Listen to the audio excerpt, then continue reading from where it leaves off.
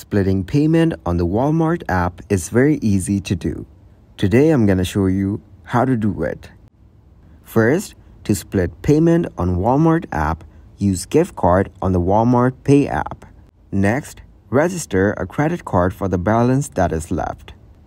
Now choose split payment directly by paying first with the payment option, then paying with Walmart Pay for the rest of the balance. You can choose different payment methods for different portions of your total.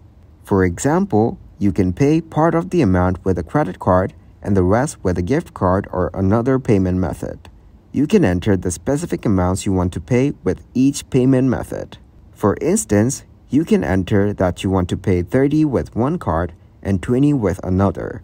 If you're unable to find a suitable solution, consider reaching out to Walmart's customer support.